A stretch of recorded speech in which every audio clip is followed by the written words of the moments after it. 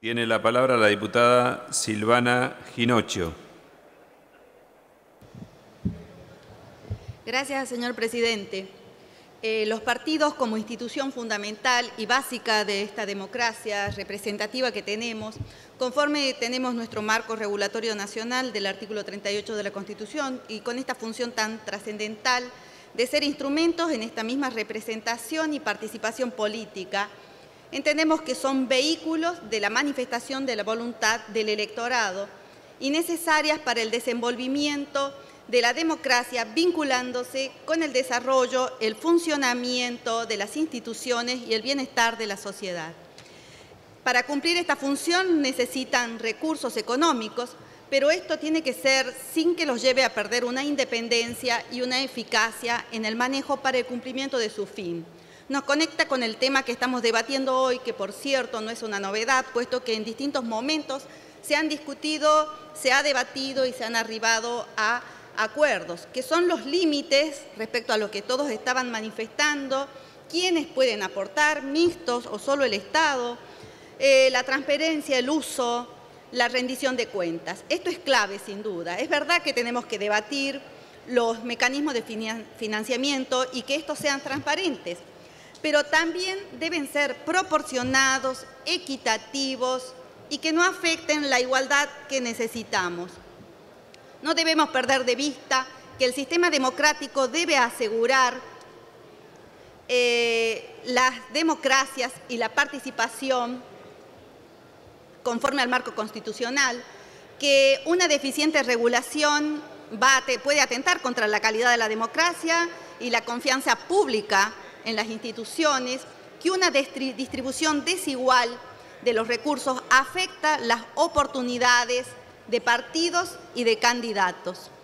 Tenemos entonces el deber de avanzar cada vez más hacia una mayor transparencia. Esto es un tema que no solo lo estamos debatiendo nosotros, es un tema que se debate a nivel mundial.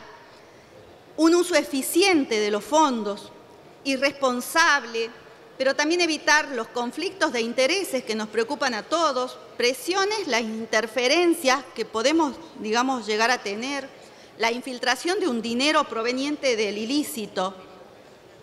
Tenemos también los nuevos paradigmas, como es abordar el uso de las nuevas tecnologías, digamos, en la comunicación y por sobre todo, digamos, en este proyecto que tenemos eh, esos aportes para la participación, digamos, de capacitación en participación política, destinada a resguardar, digamos, a las mujeres, a los jóvenes. Es un punto interesante y creo que muy actual. Eh, sin embargo, hay puntos con los que no estamos de acuerdo. Consideramos que es un proyecto que puede ser mejorado, es un proyecto que está en la opinión pública, pero necesitamos también la voluntad de que este, esto, digamos, pueda ser resuelto o se pueda rever para el caso de que tenga problemas pero que este Congreso funcione, digamos, en la medida en la que los argentinos la necesitamos. Remarcamos la necesidad de la transparencia, el equilibrio y propender legislativamente hacia una participación en igualdad de condiciones con directrices obligatorias, límites, rendiciones de cuentas, mecanismos y mecanismos de control. Es central para nosotros fundamental en este tema de financiamiento de los partidos políticos, garantizar el pluralismo, dotar de condiciones de equidad, dando posibilidades que sean reales a todos los partidos, fomentando la participación.